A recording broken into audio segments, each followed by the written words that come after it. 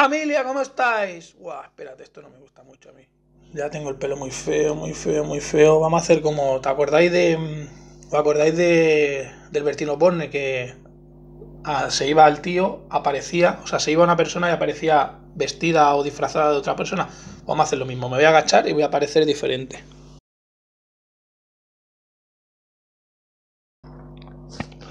¡Buah! ¿Habéis visto la magia de, del Vegas? De la edición, ¿habéis visto como el programa de Bertín, como he dicho antes? Me he agachado, he vuelto a subir, ha salido una cortinilla de humo y con mi barbita y mi pelo recortado. ¡Ole! Ahora empezamos. ¿Qué familia? ¿Cómo estáis? Espero que bien. Oye, se me ve aquí, tengo aquí como las chaquetas por ahí, tío. Uf, madre, qué descontrol, ¿no? Voy a girar un poco así, no se ve. Voy a hacer un vídeo, eh, tenía ganas ya de tocar el vídeo de Gran Hermano Dúo. Eh, he esperado una semana para que fuera viendo a los concursantes un poquito y fuera más o menos teniendo mi opinión sobre ellos y quiero dar mi opinión aquí y semanalmente si el vídeo tiene apoyo y lo dejáis en comentarios y likes subiré un vídeo semanal o dos semanales dando mi opinión cómo va el concurso, ¿vale? Eh, quiero, este vídeo va a ser solo para mm, explicar los concursantes que hay y lo que yo pienso sobre ellos, mi opinión personal como carismán. Eh, la primera pareja, el trío primero es Ilenia, Raquel y Fede, ¿vale? E Ilenia, mm, yo lo digo desde aquí, si hace las cosas bien, si hace las cosas bien y no la lía ni se vuelve loca perdida porque esta tía sabemos que le entran paranoias en la olla rápido. Si hace las cosas bien, yo creo que va a ser una de las finalistas seguro. Puede ser hasta que gane, lo digo aquí llevamos una semana de concurso. Raquel, eh, a mí personalmente no me cae mal, eh, pero es de las típicas tías que cae mal. O sea, ¿cómo explico esto? A mí no me cae mal, pero es una tía que cae mal, porque la edición que estuvo de Gran Hermano caía mal a la gente. Entonces, yo creo que no va a durar mucho en Gran Hermano.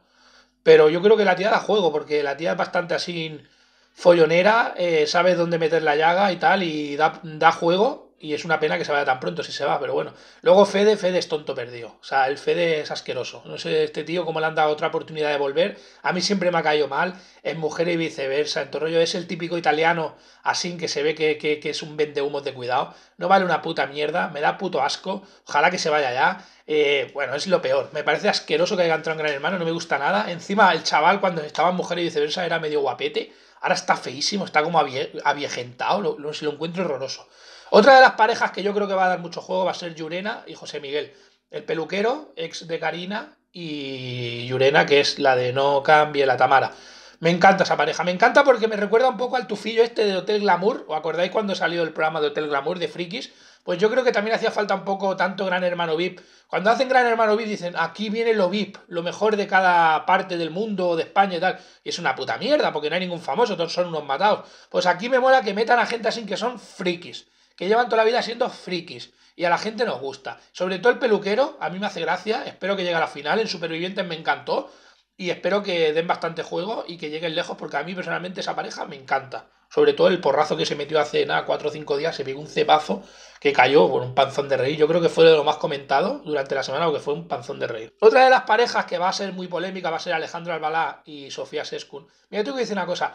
A mí, eh, Alejandro Albalá, que es el típico cantamañanas que se ha arrimado a la chabelita por pasta para no tener que currar nunca, dice la madre, no, es que mi hijo quiere ser piloto de avión. ¿De qué va a ser piloto de avión? Lo que tienes que tener cojones y pilotar bien para acostarte con la chabelita, ¿vale? Eh, y salieron en el Sálvame poniéndose verde, la madre poniendo verde al hijo, ahora hacen el vídeo de presentación, mamá te quiero, mamá eres la mejor, bueno, un paripé de mierda que flipas para sacar pasta, a mí me da puto asco Alejandro Albalá, pero tengo que decir que eh, yo era de los que decía que el tío este no tiene ni puta idea de televisión, no tiene tablas, el tío no tiene gracia ninguna, pero la noche de la entrada con Sofía Seskun estuvo el tío bastante bien, le pegó buenos tiros, le pegó buenos zascas a Sofía y Sofía se quedó pequeñita siendo lo que es Sofía.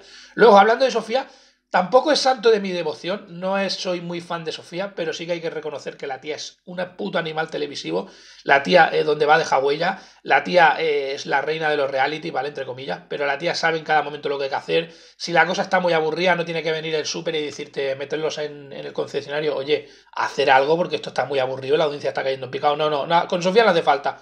A lo mejor con otros sí, pero con Sofía no. Sofía ya sabe lo que tiene que hacer. Cuando hay media hora que está la cosa tranquila, metemos la llaguita y la liamos porque Sofía sabe lo que hay que hacer, sabe que todo es un show, sabe que todo es televisión y sabe lo que hay que hacer. Entonces, en, eso, nos guste o no nos guste Sofía, Sofía es una puta crack. Luego, otro de, de los personajes así que me da puto asco, pero puto asco, voy a decir una cosa, no me cae mal Kiko Rivera. O sea, no me cae mal como fuera de esto, ¿vale? Como personaje, ¿no? O sea, soy gordo, feo, calvo, pero me he follado a media España, perfecto. Luego el tío, yo creo que es un tío gracioso, yo creo que es un tío que tiene tablas, que el tío es campechano, humilde, a mí me, a mí me parece bien, pero me parece mucho, mucho puto asco que haya gente que a lo mejor eh, ha querido entrar y se lo merece y que, y que estén fuera y que este tío ha entrado a Supervivientes ha abandonado. Al Gran Hermano VIP abandonado. Y ahora entra aquí porque dice que necesita pasta con su mujer, con Irene que Irene el otro día se descubrió también que Telita, que ella va de no, yo estoy en mi casa, yo no creo en las infidelidades de mi marido, pero tú también, hija mía, como eres. Pero bueno, el otro día lo estuve viendo en Sálvame. Pero que se le dé la oportunidad a esta pareja cuando se han estado riendo de Telecinco me parece asqueroso. Y me parece asqueroso ya no por ellos, porque si ellos le dan la opción es normal que entren. Me parece asqueroso que Telecinco, que Telecinco les dé la oportunidad. Es que me parece muy puto asco que Telecinco diga, venga, contratamos otra vez a Kiko Rivera después de los feos que le ha hecho en estos cuatro o cinco años. Me parece asqueroso y espero que no lleguen lejos. Como digo, Kiko Rivera no me desagrada, pero no va a llegar lejos. Van a que, estos van a ser concursantes de medio concurso y punto y a la puta calle. Luego otra de las parejas tríos, ¿no? Es Fortu, eh, con la chica que ha entrado, y Carolina Sobe. Se ve que, bueno, no es trío, no es trío, porque Carolina Sobe también ha estado con. Bueno, ahora os explico. Carolina Sobe estuvo con Fortu y se ve que Fortu lo dejó marcado, ¿vale? Fortu era un cantante que lo flipas en los 80, porque ya me está informando. Es más, he hablado con mi padre, oye, papá, ¿tú te acuerdas de Obus? Y me dice, hostia, sí, Obus pegó muy fuerte en los 80 y tal. Pero que, em, como todas las bandas estas, se han ido haciendo viejos, han ido perdiendo el pelo.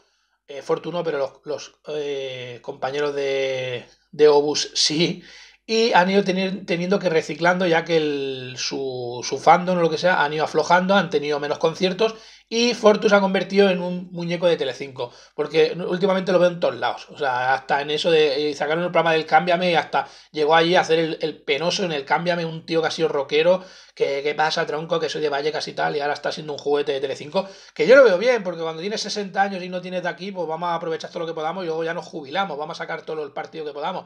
Pero me da pena, porque he estado leyendo cosas de Fortu y se ve que era un puto crack en los 80 y que todo el mundo lo conocía y el grupo Bus pegó fuerte, pero bueno, que se ve ahora sí. Entonces Carolina Sobe estuvo con él, como digo, pero Fortu ha entrado con la pareja que tiene actualmente, ¿vale? Entonces ahí es como un triángulo raro, pero es que a la vez también ha entrado María José Ruiz, una tía de los pies a la cabeza, una tía que solo, que es, me parece posiblemente la sanguijuela, sanguijuela más puto asquerosa de Telecinco, o sea, me parece asquerosa esa tía, solo se mueve por interés, por dinero, por, por, por, por, no tener que pegar para el agua. Me parece asquerosa, fría, calculadora, mala. Me da puto asco. Está con Miguel Gil Salgado, luego se va con este que ha entrado ahora, con el Ruiz. Luego vuelve con Gil Salgado, luego deja este, luego tiene un hijo con este, luego tiene el hijo con el otro. Bueno, gente que solo sin escrúpulos, que solo se mueven por dinero. José, eh, María José Ruiz tendrían que poner gente sin escrúpulos, sin escrúpulos y la foto suya al lado del diccionario. Porque es asquerosa esta tía. Y ha entrado con su ex, ¿vale? Y ese ex se dice que también tuvo algo con Carolina Sobe. Entonces han mezclado allí dos parejas con Carolina Sobe para que se líe, ¿vale? Pero me parece puto asqueroso. Espero que María José Ruiz se vaya a la primera o la segunda, me da igual, pero es asquerosa esta mujer. Y lo digo porque eh, he seguido la trayectoria de ella, ¿vale? Antes cuando estaba Donde estás corazón, esto, lo otro, eh, Sálvame, bueno, todos los programas estos de salsa rosa, de, de cotilleo, pero me parece lo peor, lo más asqueroso, lo más malo y personas que se mueven por interés me dan asco. Pero a mí ya como vida, como Pedro, como fuera de mi calle, las personas que se mueven por interés me dan puto asco. Y esta tía es lo peor. Luego, otra de las parejas que me da también puto asco, que también quiero que se vean pronto, es Antonio Tejado. Antonio Tejado me da muchísimo asco, pero muchísimo asco. Un tío que también eh, vive de las miserias de los demás, de haber tenido un hijo con, con la sobrina, o sea, con la hija de, de Antonio Moedano, ¿vale? Y de la Rosa Benito, vive de eso, se ha tirado toda la vida de eso. Ni su propia tía María del Monte le habla, no le habla a nadie de la farándula porque es asqueroso. Otro tío que se mueve por solo por interés, por dinero. Eh, ha con su pareja, que la pareja está destruida de hace un año y la ha reconocido en los jardines, pero están aquí aguantando para hacer el paripé y sacar pasta. Perdonad, llevo nueve minutos hablando casi del tirón. Eh, es un tío, como digo, que, que, le, han, hecho de todo. Eh, lo llevaron a supervivientes. Dijo, no, tengo que abandonar porque me duele la espalda. Al año siguiente le dieron otra oportunidad. Tengo que abandonar porque me duele la espalda. Y luego grabaron unas, unas imágenes a los, a los 24 horas en la piscina del resort de, allí de, de Jamaica, donde estén en Honduras.